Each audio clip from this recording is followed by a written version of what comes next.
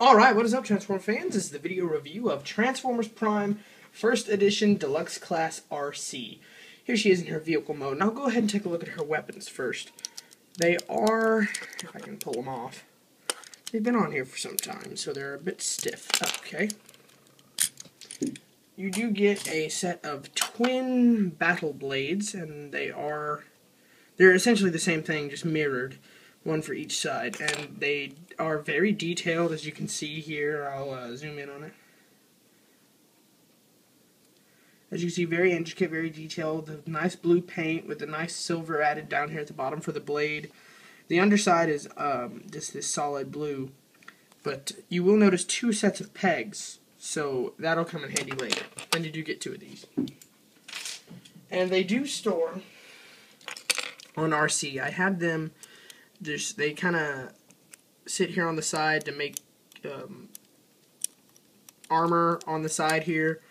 Um, if you don't like that, you can take it off. Now it does reveal some of her leg right here, but um, without those on, you are going to have to take advantage of this kickstand here, and um, which it the camera wasn't focusing. You're going to have to take advantage of this kickstand. When you have these on, you don't have to use a kickstand because they prop her up well enough but when you don't have them on, you are going to have to use the kickstand. So, uh, Arcee's vehicle mode is a very stunning blue motorcycle.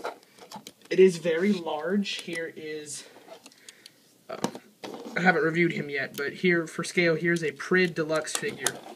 So this is a very large vehicle mode for a supposedly very small figure. So, there's that. And as a matter of fact, it almost looks, I'm going to bring her in later, but it almost looks as if, I was going to bring her in later, but now I thought of this idea.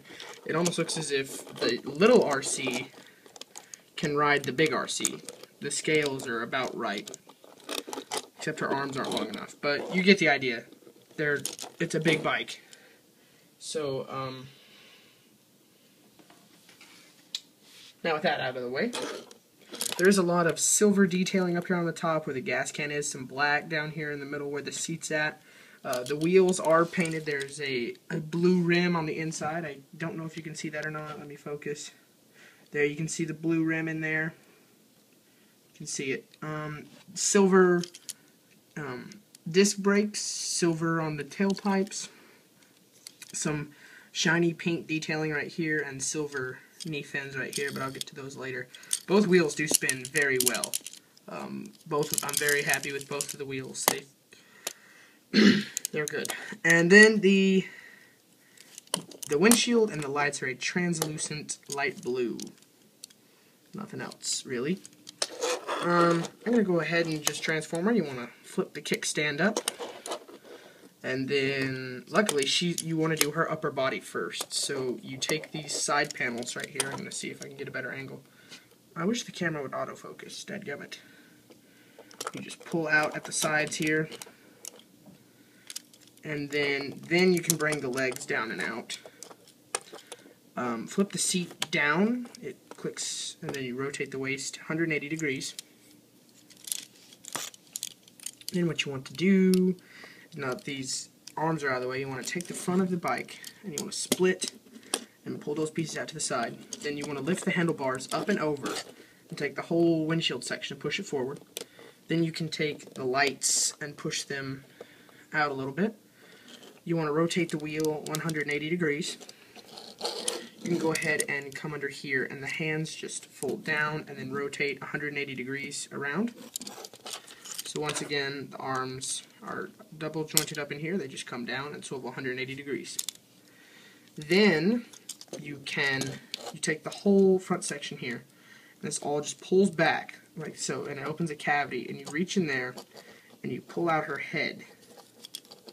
And it's on this little groove that you want to just sit, work it over, and this Autobot symbol sits right down over where that gas cap was.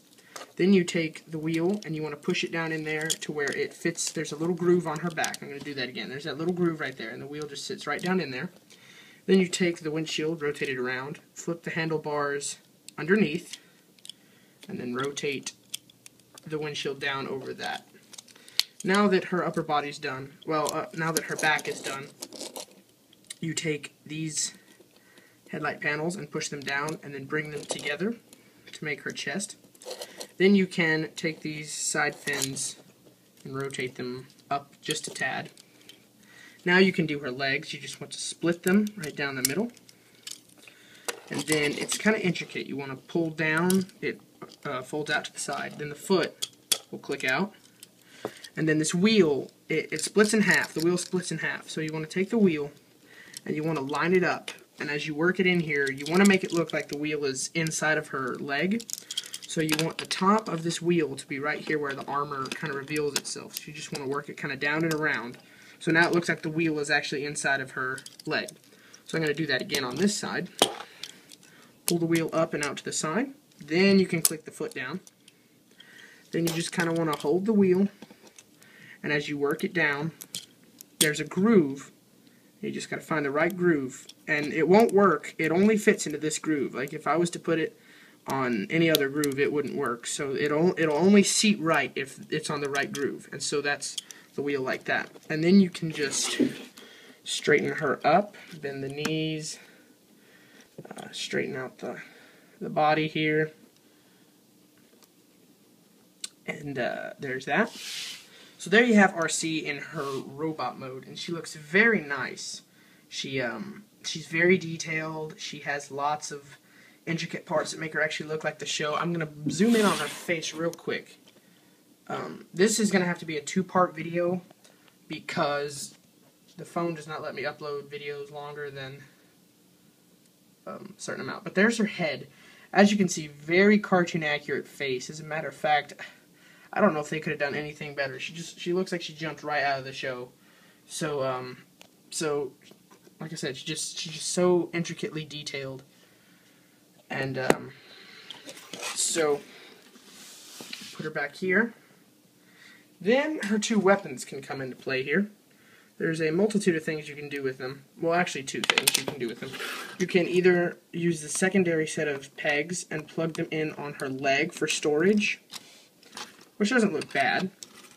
Or there's a little hole on the bottom of her forearm. You can just twist these right into. And now she's got her arm blades, and she's ready to slice up Airachnid, because that's what she does with her arm blades.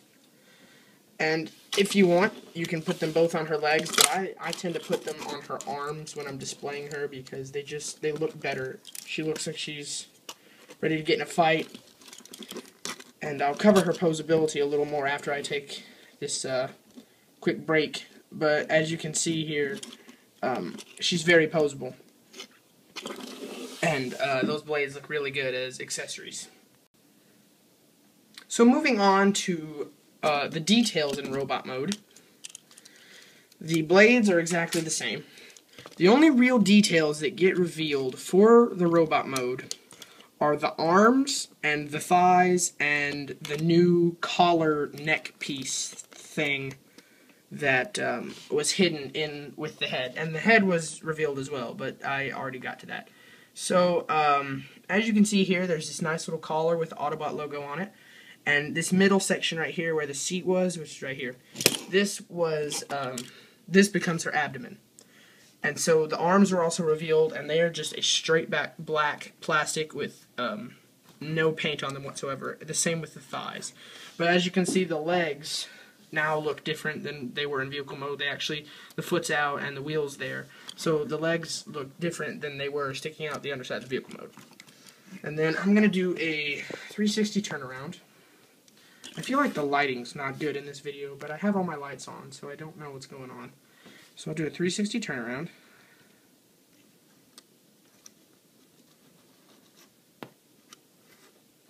So there's that. And now on to her posability. Head-wise, she does have a full ball joint up at the top of the head, and even a forward-backward swivel at the base of the neck. Her shoulder is fully ball jointed, but it is restricted a little bit by this panel right here. She does have a double jointed elbow, which uh, swivels there, and it can also swivel there to give her the all the way elbow bendy thing. And then her hand is articulated, it swivels in and out. Uh, her lower waist is fully articulated. You have a full 360 swivel joint, a ball joint at the thigh, and a swivel joint below that ball joint, a fully articulated knee, and the toe is not articulated because this locks into place and keeps it from going anywhere. But if you were to pop the wheel out of place, you could uh, click her toe back into a pointed position. But uh, if you that's that has to dismantle her leg structure by taking the wheel out of place, and I don't think anybody would want to do that. So, um, with that in mind, I feel like this video was a lot more streamlined than the Bumblebee, because I'm already almost done. And, um, so with that in mind, Arcee's a really good figure. I'm going to go ahead and compare her to the Cyberverse Legion class, though, because she's so big. This is how tall she is compared to a standard Cyberverse Legion. Okay? And now, I'm going to bring in Bumblebee to show the size between them. so, if I could just straighten him up, he was out of whack. So she is taller than Bumblebee, which is a which is not right. She should be about a head shorter than Bumblebee. So um, inaccurate there, but she is a motorcycle transformer. It's what we've come to expect from her. And um, so other than that, that's what you're going to expect from Arcee. So, um, with that in mind, she's a very good figure. I really enjoy having her in my collection. She's a great, she's one of the best first edition figures um, out of the lot. And overall, I just, I feel like if they would worked on her scale a little bit more, if she was a scout class, perhaps this would be the perfect Arcee. But she's just, the colors are spot on, uh, the detail is spot on if only she was just a little bit shorter, she would be the perfect Arcee. But um, other than that, I wouldn't. For first edition coming back out with its second run, I would not hesitate to pick her up because she's a lot better than the Prid version that we got earlier this year.